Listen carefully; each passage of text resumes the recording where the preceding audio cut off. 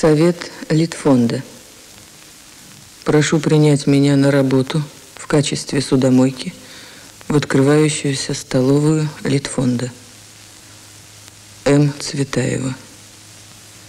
26 августа 1941 года.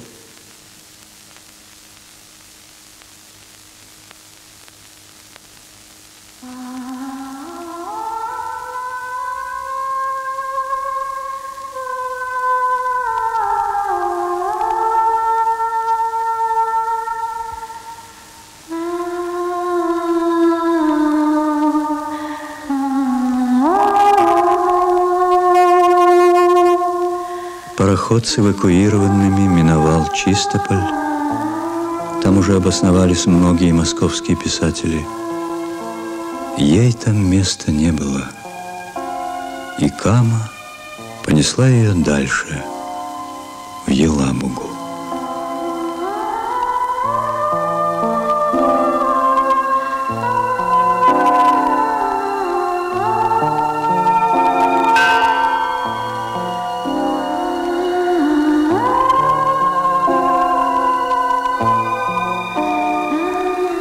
Вернувшись из заключения, Аля, дочь, так и не смогла заставить себя приехать в этот город. У меня просто ужас перед Елабугой.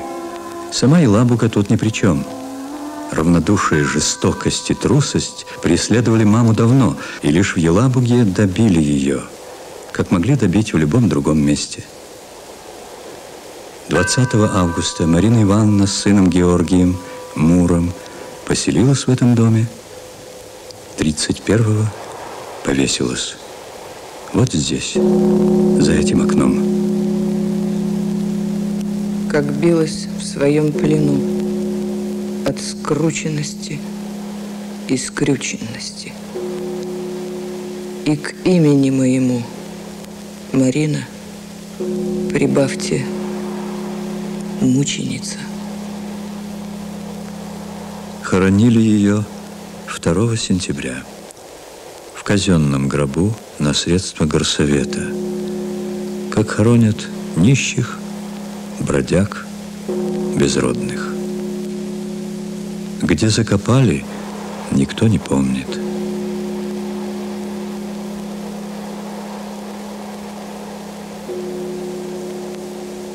Теперь к этой могиле приносят цветы – но здесь ли нашла она свой последний приют на земле? Есть еще две могилы. Может быть, в одной из них? Идешь на меня похожий, глаза устремляя вниз. Я их опускала тоже. Прохожий, остановись. Не думай, что здесь могила, что я появлюсь, грозя. Я слишком сама любила смеяться, когда нельзя. И кровь приливала к коже, и кудри мои велись. Я тоже была прохожей, прохожей, остановись. Но только не стой угрюмо, голову опустив на грудь. Легко обо мне подумай, легко обо мне забудь. Это Таруса. Здесь она была счастлива. В детстве. Ты сам мне подал слишком много. Я жажду сразу всех дорог. Ты дал мне детство лучше сказки. И дай мне смерть в 17 лет.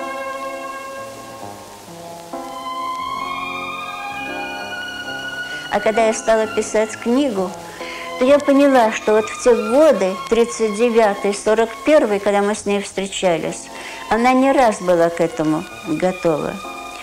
И что и Лагвуга это было как бы закономерный исход – что жизнь ее последовательно загоняла в этот тупик.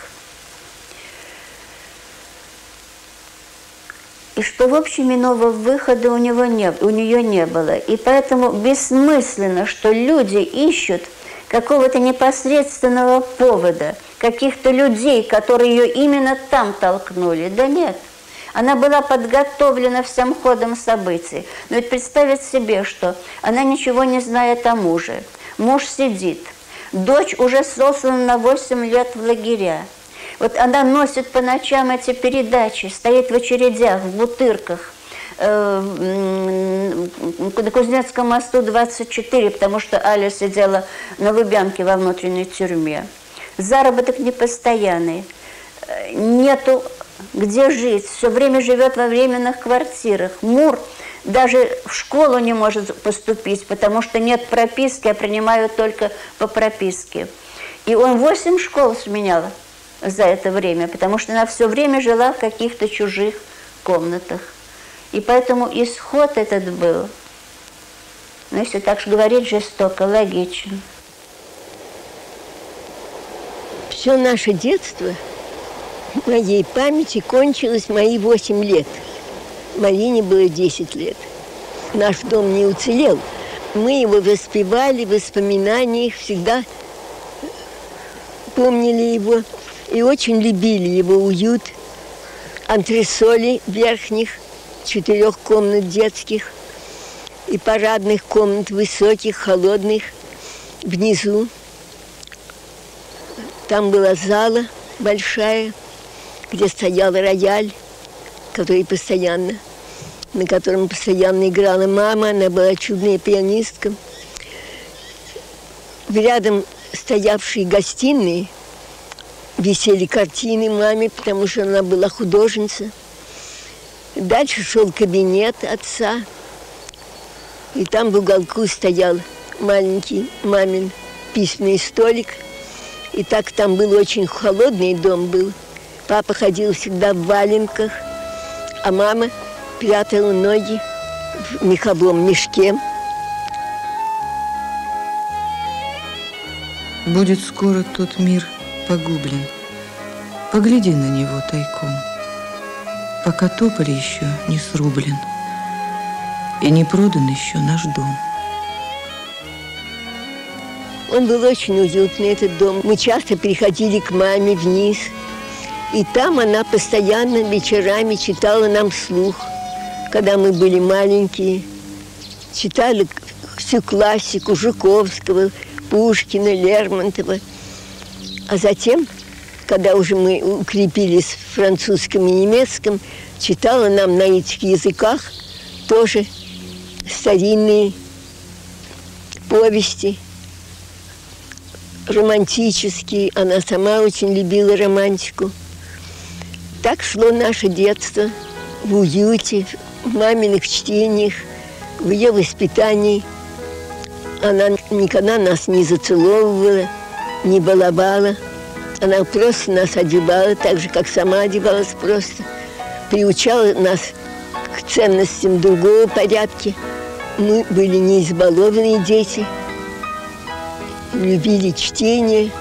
На елку мы никогда, когда нам дарили игрушки, то есть такие куклы, например, то мы не умели в них играть, никогда не играли в куклы с Мариной. А мы любили перочинные ножи, пеналы, альбомы, э, книги. Вот такие подарки. Скорее мальчишеские.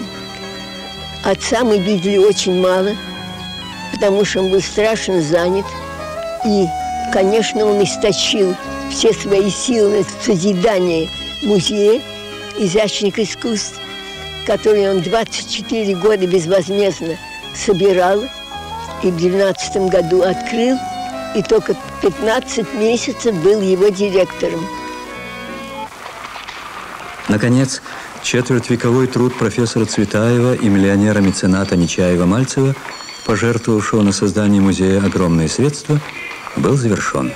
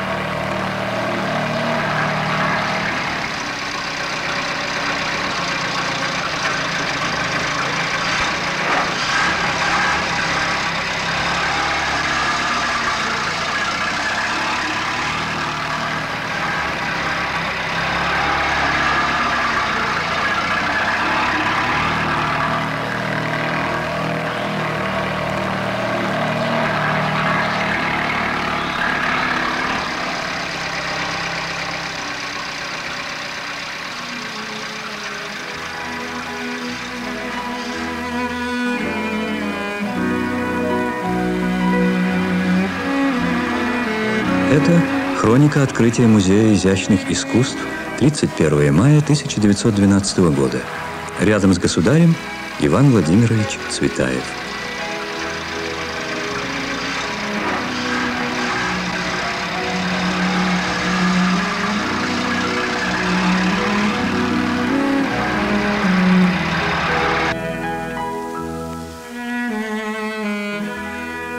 идеей создать в Москве эстетический музей, как его тогда называли. Была идея нескольких поколений русских интеллигентов. И вот Иван Владимирович Цветаев, который был профессором Московского университета, отец Марины Ивановны, он, может быть, более чем другие, загорелся этой идеей. Он сумел, ну, в общем, на мой взгляд, сделать совершенно невероятное. У него не было ни денег, ни земли и не было памятников. У него ничего не было. И вот на ровном месте он все-таки решил, что надо делать такой музей. Иван Владимирович – это был одержимый человек. Безоглядность, целеустремленность, невероятная смелость, духовная смелость прежде всего. Вот. Э, и такая, я бы сказала, настойчивость невероятная в своем движении к цели. Вся жизнь Марины Ивановны была подчинена одному – поэзии. Ведь все отходило на дальний план – поэзия, ее, ее творчество. Вот. Э, в этом смысле в ней какие-то черты, очень сильные черты личности Ивана Владимировича дочери и Марины, и Анастасии очень высоко ценили деяния отца, они понимали значение этого э, деяния. Ну и я полагаю, что Иван Владимирович был все-таки довольно одинок в это время, потому что дочери, это был, они были очень юные, молодые, они, конечно, их захватывала их личная жизнь, их личные переживания, вот. Но тем не менее, конечно, такое какая-то очень глубинная близость. Связь. Да, и глубинная духовная связь, конечно, существовали всегда. Я так полагаю.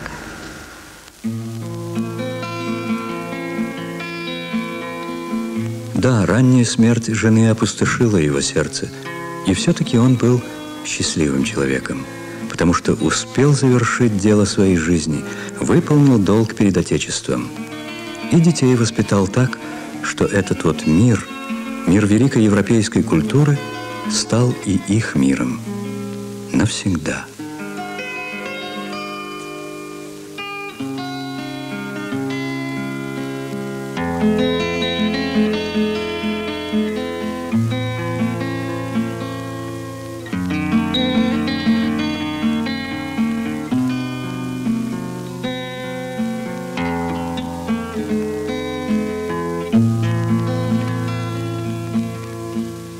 После смерти мамы, которая нас еще больше сблизила, и после короткого увлечения Марины революцией, от которой она нацело отошла, а я никогда еще мала была этим заниматься и не интересовалась, вот тут мы очень сдружились лет с моих 13 и до 17, до моего выхода замуж, а ей было 19, она вышел замуж примерно на двадцатом году, почти одновременно.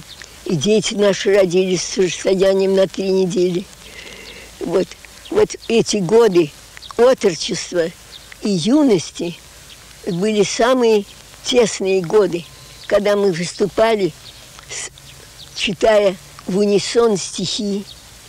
Она никогда одна не выступала, всегда со мной, потому что было интересно и слушателям, и нам читать в унисон.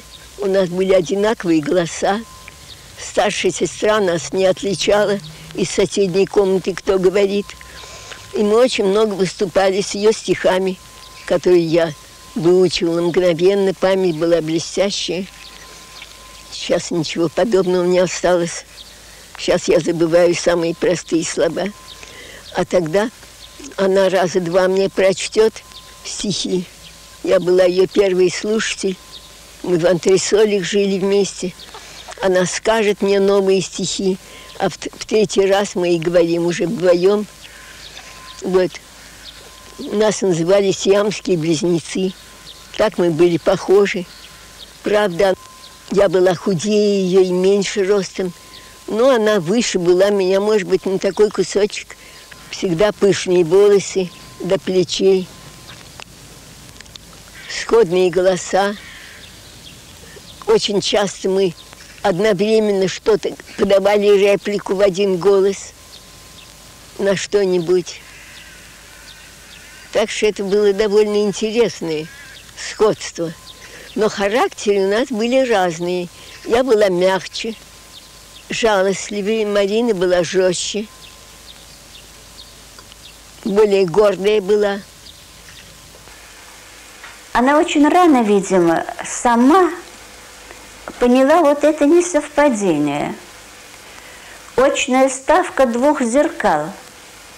Тетради, где твоя душа и где ты похожа – и зеркало, где твой быт, твое лицо, и ты не похожа. Она в юности уже поняла, что Господь одарил ее могучим талантом поэта. Не поэтессы, а именно поэта. Но вложил в этот, талант, этот талант в оболочку миловидной, хорошенькой московской барышни в Пенсне. И вот это несовпадение – видимо, и привело к тому, что она стала переделывать наперекор природе свою внешность. Об этом я Аля рассказывала, что она выбросила пенсне. И хотя она была очень близорука, она уже никогда не надевала пенсне. Она стала запоем куриц. Папироса стала неотъемлемым штрихом его портрета. Она изнуряла себя ходьбой, мало ела.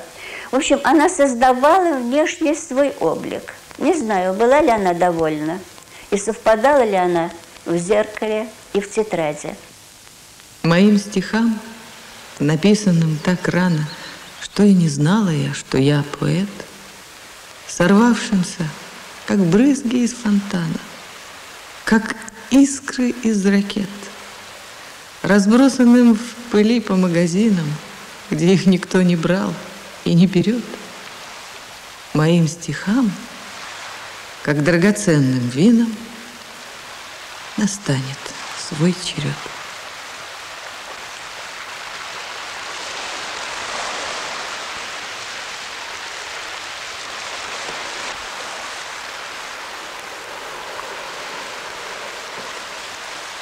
Ее 18-летнюю разыскал кумир тогдашней молодежи, художник и поэт Максимилиан Волошин. Разыскал, чтобы поклониться таланту – какой прекрасный порыв и какой естественный. Тогда, для тех людей. О его смерти она узнает во Франции, напишет воспоминания. Писала, как всегда, одна против всех. Не могших простить Волошину его отсутствие ненависти к советской России, от которой он же первый жестоко страдал, ибо не уехал.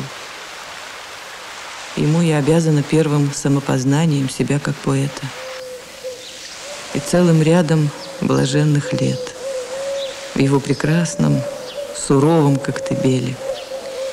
Тогда этот дом был открыт для таланта, для молодости, для мыслей, для споров, для стихов, для счастья. Здесь 5 мая 1911 года встретила Марина Ивановна свою любовь.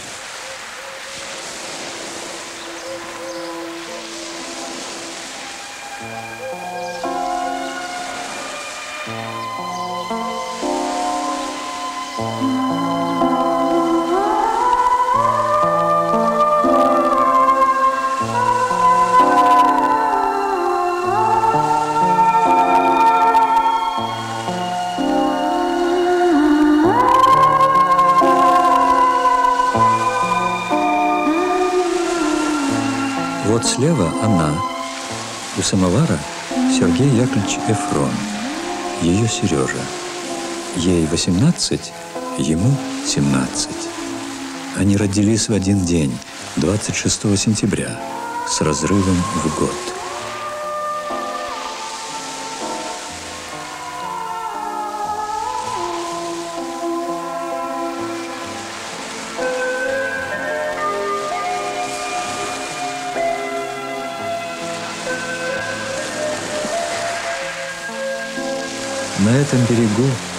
Заглянув в его огромные в пол лица глаза, она загадала, если он найдет и подарит ей сердолик, она выйдет за него замуж.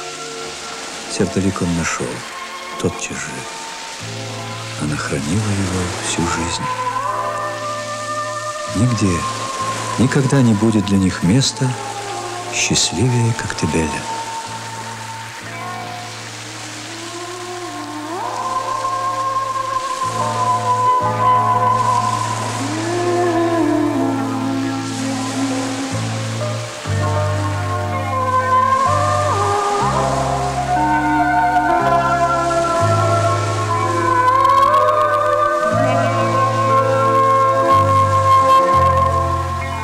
Я с вызовом ношу его кольцо.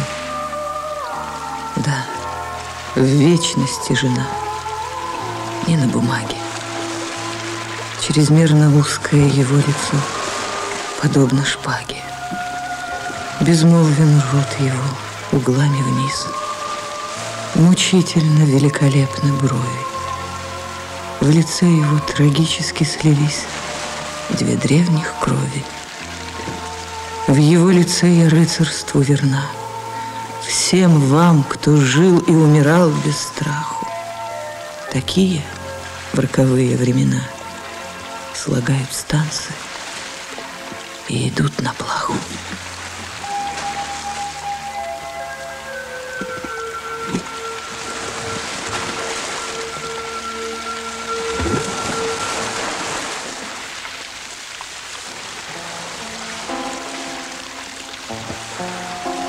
Они мечтали жить долго и счастливо и умереть в один день.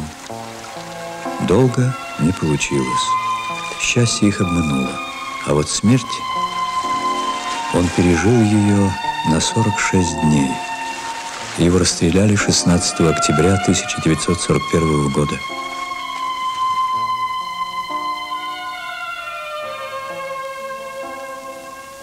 Меня часто спрашивают, как Марина Ивановна читала стихи. Мне очень повезло. Я часто слышала, как она читает стихи.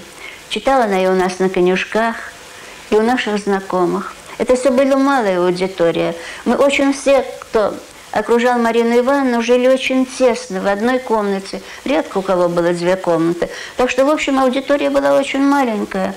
Ну, самое большее, может быть, 10 человек. Марина Ивановна очень охотно читала, ее даже не надо было просить. Как-то само собой получалось, что она начинала читать свои стихи.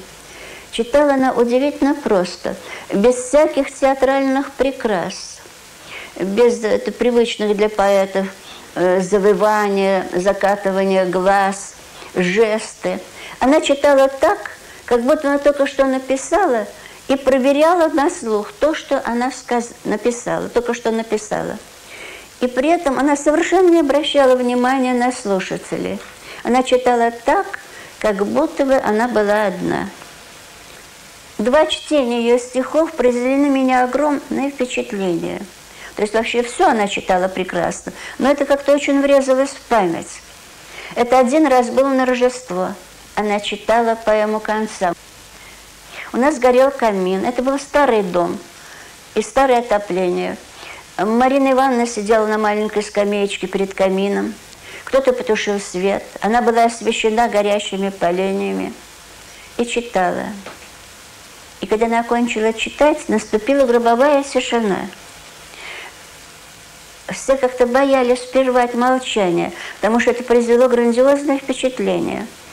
И она первая заговорила. Она закурила и сказала, тишина, ты лучшее из всего, что я слышал. И добавила, как хорошо, когда кто-то есть рядом, кто может молчать. Как это надо, чтобы кто-то был рядом и молчал. А пока рождение первенца, разлука, Сергей Яковлевич шел на фронт, и революция. И проходят цвета пепла и песка революционные войска. Нету лиц у них и нет имен. Песен нету. И страшные мне снятся сны. Телега красная, за ней согбенные моей страны идут сыны. Колеса ржавые скрипят, конь пляшет взбешенный. Все окна флагами кипят, одно завешено. Она понимала, Сергей Яковлевич в стороне не останется. Что уйдет в белую армию, не сомневалась. Разве вы сможете сидеть дома?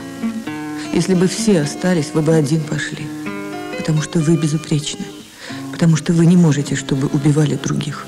Если Бог сделает это чудо, оставит вас в живых, я буду ходить за вами, как собака. И пойдет. Сначала из России, потом обратно на смерть. А в 22 году Марина уехала за границу. Четыре года она не знала, с 17 по 21 жив ли он. А когда Ернбург сообщил, что он кончает университет в Праге, в Чехословакии, то она сразу стала хлопотать о выезде с дочерью к нему. Ей его выдали, поэтому она никогда не была иммигранткой. Она законно выехала к своему мужу. И никуда она из России не бежала, эмигранткой не была, неправильно ее так называют. А когда они потом из Чехословакии переехали в Париж с маленьким родившимся сыном и с подрастающей Алей, то э, в, Париже их очень плохо встретила эмиграция. Марину называли большевичкой, и она говорила, что у большевиков меня считали белые, потому что догадывались, что муж мой белый э, армии, а тут меня называют большевичкой за мой свободолюбивый нрав.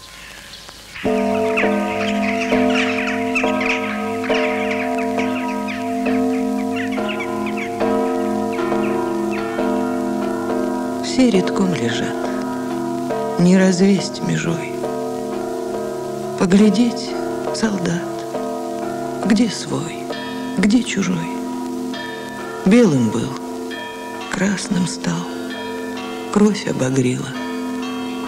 Красным был, белым стал, смерть побелила.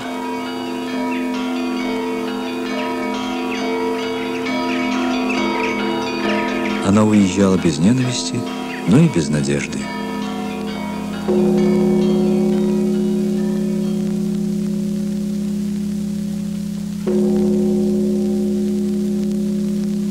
У нее осталась одна Аля. Младшая Ирина умерла от голода. Ей было три года. Девятилетняя Аля записала в дневнике. Когда проезжали маленькую церковку, Марина сказала «Перекрестись, Аля» и перекрестилась сама. Так и крестились на каждую церковь, прощаясь с Москвой.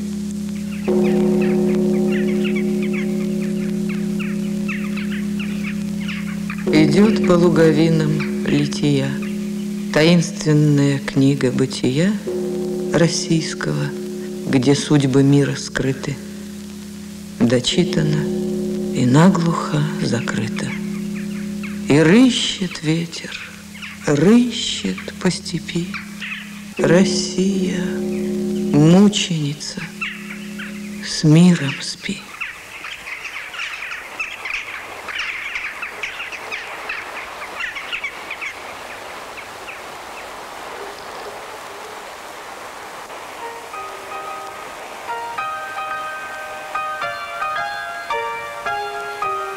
В мае 22-го они в Берлине. Германию Цветаева любила с детства. Казалось, на этой земле она наконец вдохнет свободно. Но раньше она приезжала, потому что хотела. Теперь беженка.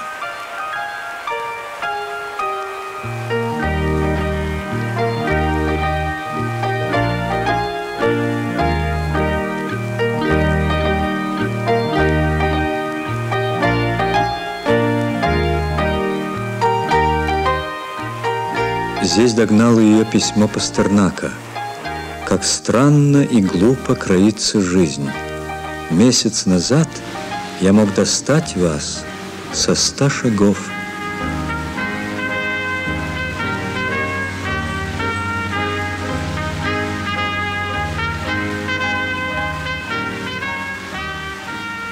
Расстояние, версты, Нас расставили, рассадили, Не рассорили, рассорили, Не расстроили, растеряли. По трущобам земных широт Рассовали нас, как сирот.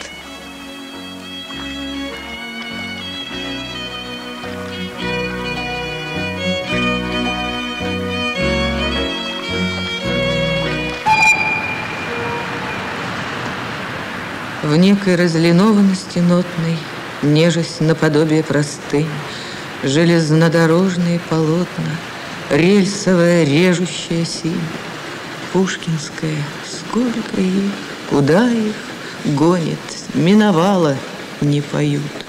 Это уезжают, покидают, Это остывают, отстают, Это остаются. Она приехала в Чехию 1 августа, чтобы прожить здесь три с половиной года и полюбить эту землю навсегда. Родиной всех, кто без страны, называла Цветаева Чехию.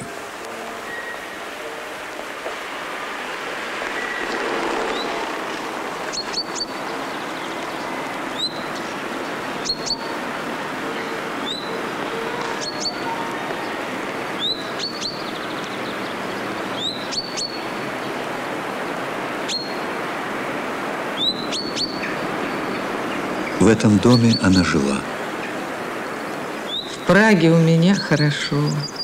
Огромное окно на весь город и все небо.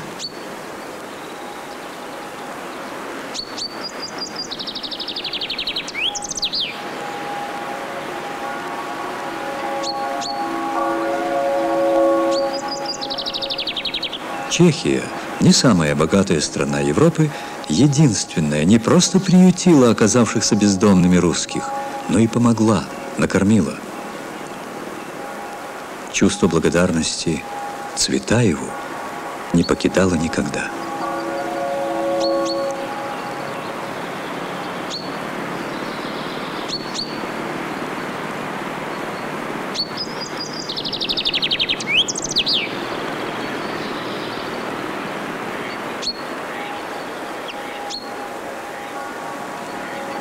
Здесь впервые Марина Ивановна рассталась с Алей, доверила ее воспитателям русской школы в Моравии.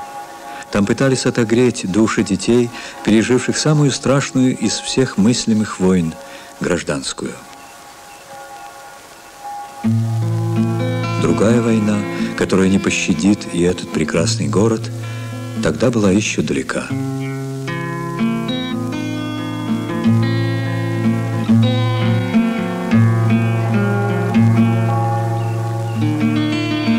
Любила она бродить по этим улицам, по набережным Влтавы, как благодарно помнила до конца.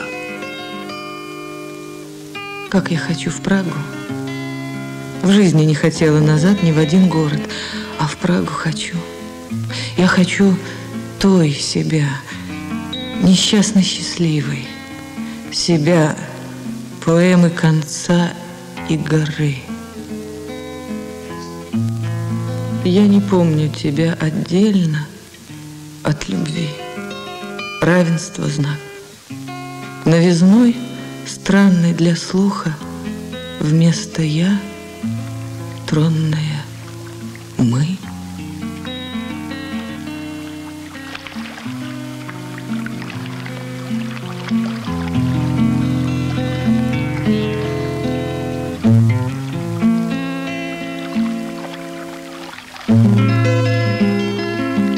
Недовспомнивши, недопонявши, точно с праздника уведены. Наша улица уже не наша. Сколько раз по ней уже не мы. Завтра с западу встанет солнце, С Иеговой порвет Давид. Что мы делаем? Расстаемся. Ничего мне не говорит сверхбессмысленнейшее слово. Раз остаемся. Одна из ста. Просто слово в четыре слога, за которыми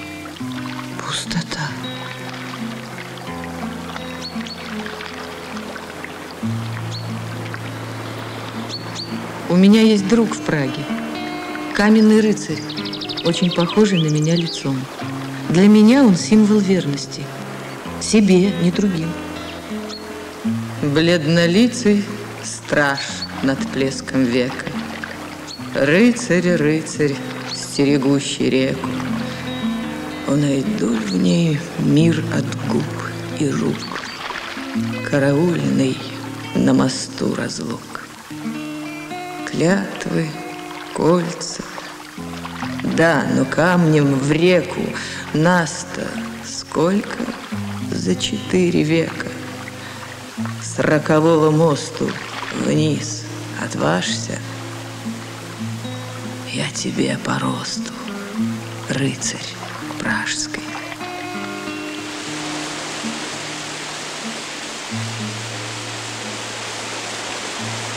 Все было на этой земле. Не только вершины и обрывы чувств.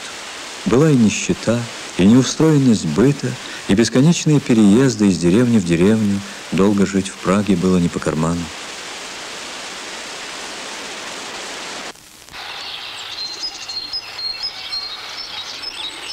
Не штык, так клык, так сугроб, так шквал. В бессмертие что час, то поезд – Пришла и знала одно – вокзал. Раскладываться не стоит. Мне совершенно все равно, где совершенно одинокой быть, по каким камням домой брести с кошелкою базарной, в дом и не знающий, что мой, как госпиталь или казарма. Всяк дом мне чужд, всяк храм мне пуст. И все равно, и все едино.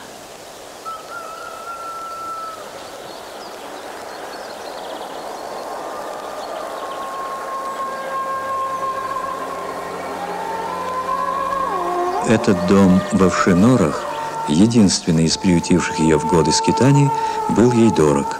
Здесь 1 февраля 25 года родился ее сын Георгий Мур. Ему суждено было стать ее идолом и ее прокурором. С родиной сына она прощалась 31 октября 25 года. О, слезы на глазах, плач гнева и любви, О, Чехия в слезах, Испания в крови, О, черная гора, затмившая весь свет. Пора, пора, пора Творцу вернуть билет. Отказываюсь быть в бедламе не людей — отказываюсь жить. Не надо мне ни дыр, ушных, ни вещих глаз. На твой безумный мир ответ один – отказ. На этой ноте последнего отчаяния оборвется творчество Марины Ивановны Цветаевой. Но до этого еще 14 лет – где-то в середине 20-х, конце 20-х Борис Леонидович Пастернак на литературных вечерах в Москве очень часто читал ее стихи и писал ей в Чехию, в Париж, что стихи ее пользуются неимоверным успехом, и она забивает московских поэтов. Он тогда считал, что ей совершенно необходимо вернуться в Россию, жить в Москве. Но так как не было возможности вернуть ее, то он стремился вернуть ее стихи. И, между прочим, вот просто привести стихи из Парижа, спрятав бумажку в карман, это уже был криминал.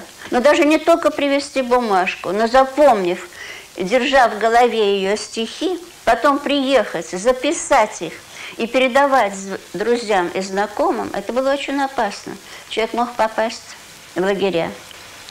Ее стихи, поэмы оседали в ящиках письменных столов.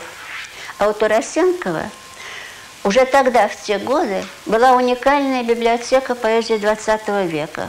И он боялся, что ее стихи могут затеряться на отдельных листочках. И переплетал такие вот ситцевые книги. И книжки эти ходили по Москве, по Ленинграду. Видно, для слова нет преград, а русская интеллигенция неисправима. Почему Париж? Здесь ей обещали заработок, здесь были друзья, и те, кто казались друзьями. А еще воспоминания, романтическая влюбленность в Наполеона, в Растана, в Сару Бернар, свадебное путешествие, тот, тогдашний Сережа. Но не в Париже своей юности, воспетым поэтами и художниками, предстояло ей жить – 14 лет кочевала она по убогим квартирам рабочих предместий. На лучшее не было денег. Некогда быть, некуда деться. Хоть бы закут, только без прочих. Краны текут, стулья грохочут, рты говорят. Знали бы вы, ближний и дальний, как головы собственной жаль мне. Богом мне тот будет, кто даст мне не времени, дни сочтены, для тишины четыре стены.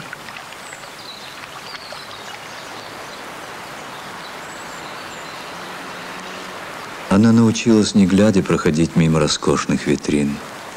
С октября 17 -го она не следила за модой. С октября 17-го все стало ей недоступно. До Эйфелевой рукою подать, подавай и лезь. Но каждый из нас такое зрел, зрит, говорю, и днесь, что скучным и некрасивым – нам кажется ваш Париж.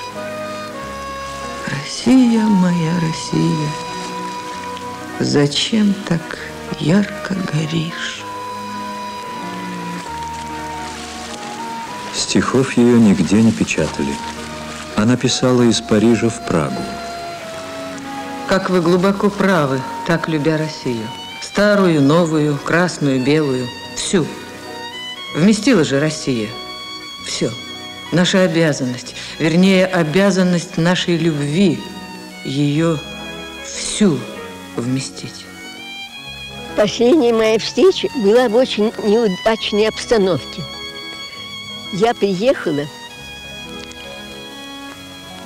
и на другой же день мы успели только поехать в Версаль, все вместе.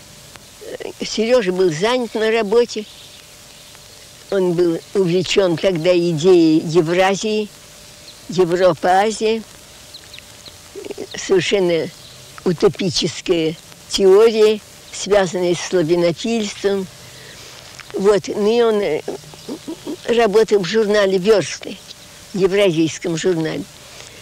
А мы с Мариной, Али и маленьким мужем, которым было не хватало до трех лет немного – поехали в Версаль. Маленький заштатный городок, когда-то гремевший дворцами и роскошью. И там сохранилось от старого времени только вот эти так называемые зу, э, большие воды, э, необыкновенной красоты фонтаны, прихотливые, перемешающиеся струями, совершенно волшебные. Мы вот эту прогулку провели, а на другой день муж затемпературил, вызвали врача, и началась скарлатина. После него заболела Аля, тяжелее, чем он. Я там была три недели, и после всех заболела Марина, очень тяжело, с потерей сознания, с высокой температурой. И Сережа говорил, если бы ты не приехала, что бы я делала с ними тремя? Они все в жару, я не мог бы отойти от них даже в аптеку. Каким чудом Бог тебя прислал. Сергей Яковлевич уже давно говорил, я перед Родиной в долгу. Был готов на все, чтобы искупить. Он стал сотрудничать с НКВД, о, страшная тяжесть свершенных дел! И плащ его красен, и конь его бел. О, тяжесть удачи, обида победы! Георгий, ты плачешь, ты красною девой Бледнеешь над делом своих двух Внезапно чужих. Смеем ли мы судить? Мы, жившие здесь и так долго не понимавшие, не видевшие, что происходит? Или молчавшие? Французская полиция заподозрила Эфрона. Он вынужден был уехать в СССР. Шел сентябрь 37-го.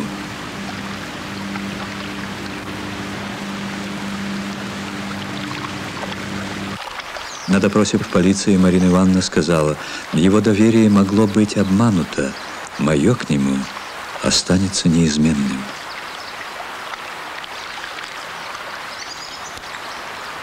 С этого дня эмиграция отвернулась от нее окончательно.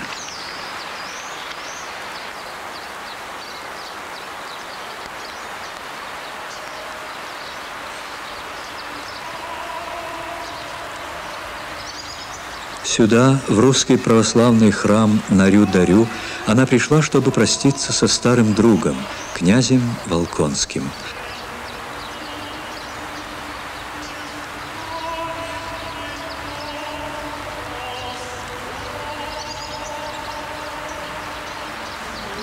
Она стояла одна на паперти, а поток шедших на панихиду как бы обтекал ее, не желая даже невольно коснуться большевички а следовало бы поклониться за одно то, что в мире предательств не научилась предавать. Поэт издалека заводит речь.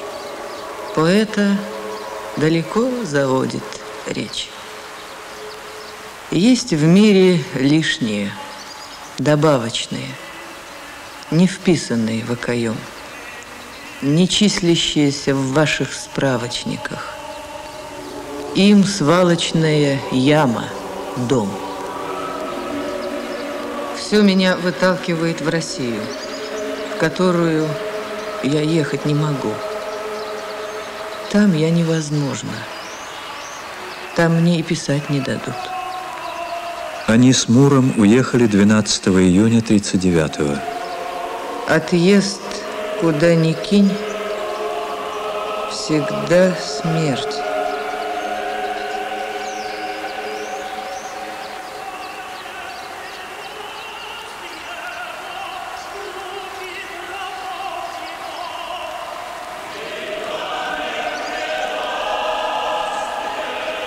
Ей оставалось жить еще два года, два месяца и 18 дней.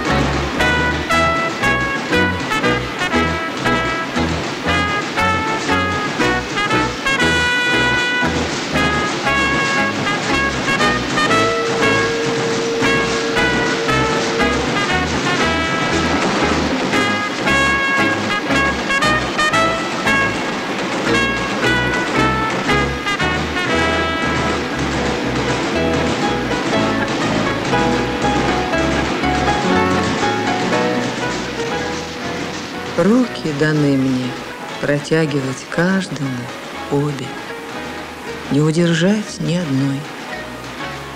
А этот колокол там, что кремлевских тяжели, Безостановочно ходит и ходит в груди.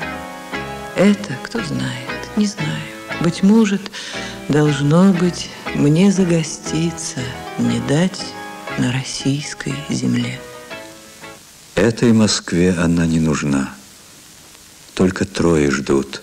Сергей Яковлевич, Аля и Борис Леонидович Пастернак. Мы с ним как-то встретились в 1939 году у памятника Тиверязева. Это была случайная встреча. Я шла с мужем. Он был один. И он тогда сказал, что Марина Ивановна приехала в Москву, что она живет в Болшево, очень редко появляется, и он ее всего видел несколько раз. И он тогда, помолчав, добавил, зря она приехала, не ко времени получилось. И сам себя перебил. А когда бы это могло быть ко времени, в этом без времени? Мы стояли у памятника Тимирязева. Было очень ветрено, холодный был день. Он посмотрел на памятник и сказал, как должно быть неуютно стоять так вот посреди площади каменным пеналом.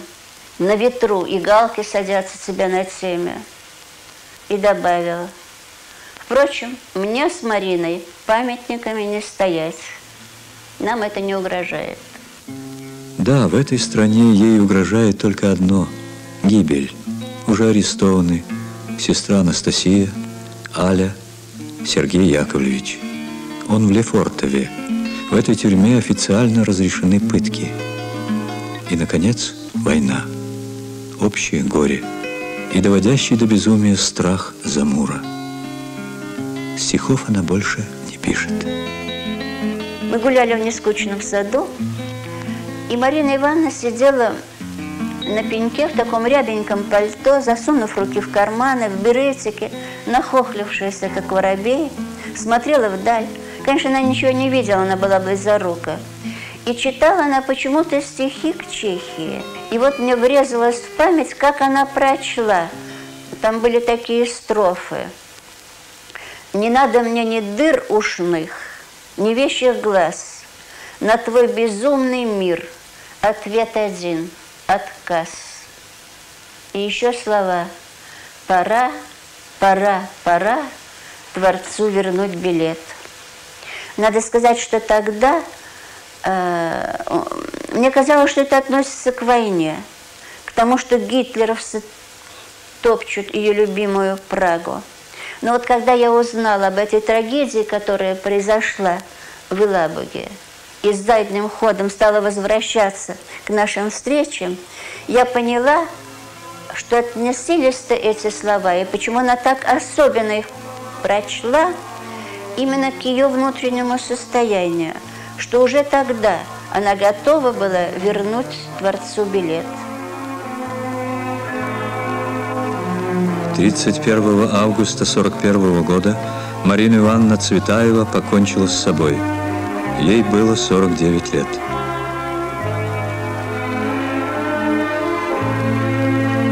Шестнадцатого октября расстрелян Сергей Яковлевич Эфрон, 48 лет.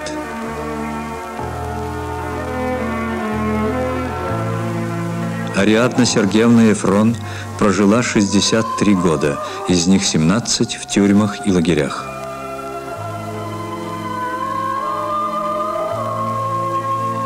Георгий Сергеевич Эфрон погиб в бою в июле 44-го. Ему было 19 лет.